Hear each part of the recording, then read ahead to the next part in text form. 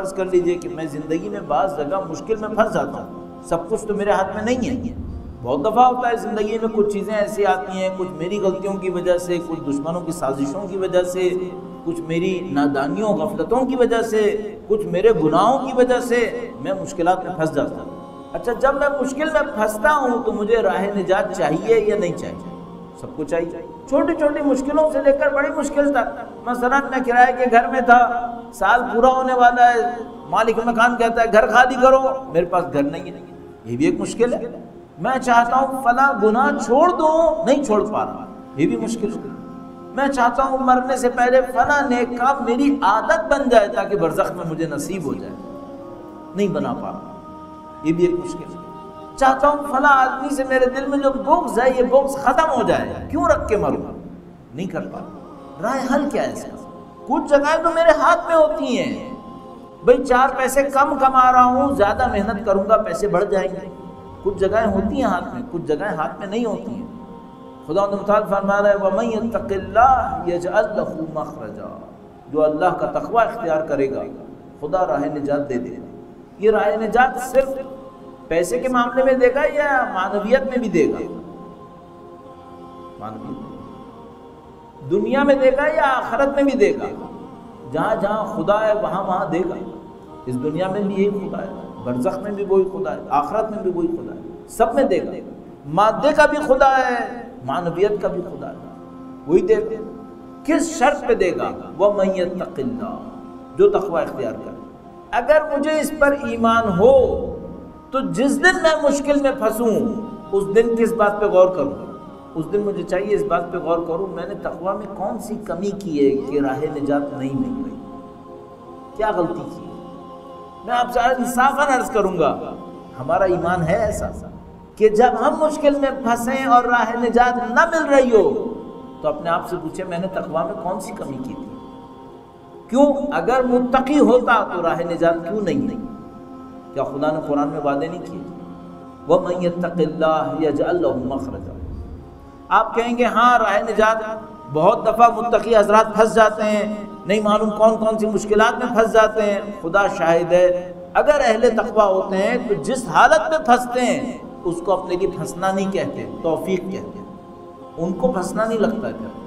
تو یا تو خدا مشکل سے نکال دیتا ہے یا مشکل کو آسان بنا دیتا ہے۔ خدا کا نظام۔ ہے اگر مثال کے طور پر شہید اول یا شہید ثانی کا واقعہ مشہور ہے، دشمن کی زد میں آ گئے، دشمن نے پھنسا دیا، قید خانے میں رکھا ہوا ہے، اگلے دن اعدام ہو جائیں گے، مار دیے جائیں گے۔ اللہ سے دعا کی، ربی انی مغلوب فانتصر۔ اے خدایا، میرے اوپر غلبہ کر لیا گیا، تو میری نصرت فرما۔ قرآن کریم کے اندر ایک انداز ہے کہ کہتا ہے، یہ میرے نبی نے کہا بس یہ ہو گیا۔ تو علماء اس سے پک کر لیتے ہیں کہ ہاں جو یہ جملہ دہرائے گا تو یہ ہوگا۔ خدا نمتال فرماتا ہے، جب میری حجت نے کہا، ربی انی مغلوب فانتصر، اے خدایا، میں مشکل میں پھنس گیا ہوں، میری نصرت فرما۔ بس خدا نے نصرت بھیج دی۔ اس کا مطلب ہے، یہ جملہ کارآمد جملہ ہو گیا۔ ربی انی مغلوب فانتصر۔ ربی انی لما انزلت الیہ من خیر فقیر حضرت موسیٰ علیہ السلام خواتین کی مدد کرنے کے بعد درخت کے نیچے ہیں۔ نہ یہ پتہ ہے آگے جائیں، نہ یہ پتہ ہے پیچھے جائیں۔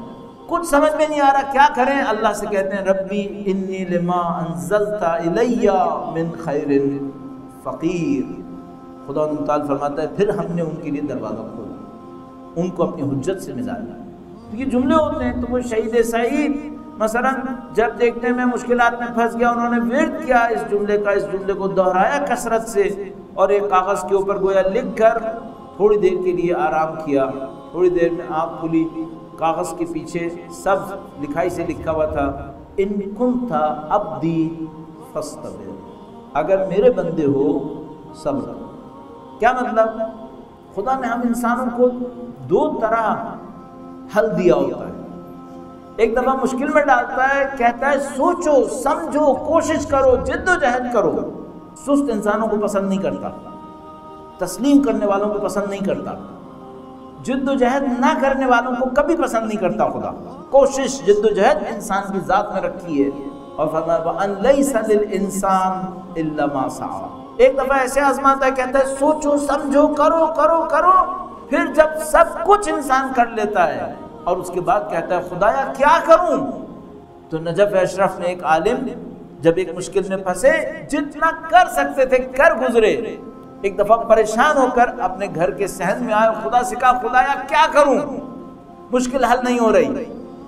تو ان کو کسی نے کہا کہ، اب کچھ مت کرو، اب یہ کرو کہ کچھ مت کرو۔ یہ کون سا مرحلہ ہے؟ یہ وہ مرحلہ جہاں پہ خدا کہتا ہے، اب مجھ پہ چھوڑ اب چھوڑ دو مجھ پہ۔ کس کے بعد آتا ہے؟ پہلی دفعہ سے نہیں آتا ہے کہ میں سب کچھ چھوڑ کے بیٹھ جاؤں۔ میں خدا پہ توقل کر رہا ہوں۔ نہیں، یہاں سے توقل شروع نہیں ہوتا۔ توقل محنت کے بعد شروع ہوتا ہے۔ پہلے اونٹنی کا پاؤں باندھو، پھر توقل کرو۔ تو ایک دفعہ کہتا ہے، کوشش کرو، جد و جہد کرو، جب سب کچھ کر گزرے، اس کے بعد کہتا ہے، اب مجھ پہ چھوڑ۔ اب میں تمہیں دکھاتا ہوں۔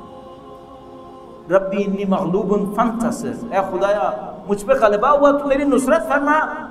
اور لکھا ہوا میرا ان کن تھا عبدی فاستغفر۔ اگر میرے بندے ہو تو صبر کرو۔